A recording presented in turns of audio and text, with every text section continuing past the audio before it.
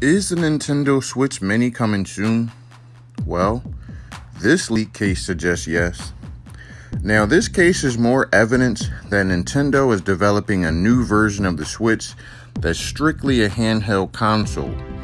It also gives us our best look at what the miniature edition might look like, though Nintendo hasn't confirmed anything yet and probably won't until it reveals the device. Now, there's a publisher that leaked a photo of a silicone case from Switch accessory makers. It's not for the regular Switch, it's for a mini Switch 2. The case seems to be for a smaller Switch that's roughly the size of a regular Switch without any Joy-Cons. The case itself covers the whole device too, which means the mini Joy-Cons may not have a way to be removed from the console's bodies.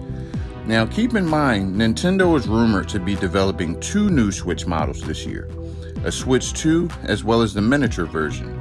If you consider the size this case leak and that the Joy-Cons are apparently fixed, it seems very likely that Nintendo's upcoming miniature Switch will definitely only work in handheld mode, which other leaks and rumors have all suggested so far. Now, this accessory leak doesn't prove much, but it's still interesting to say the least. Leave me a comment in the comment section below and let me know if you think there's any validity to these rumors. And if you're new to the channel, thanks for watching and consider hitting that subscribe button. Peace. Is the Nintendo Switch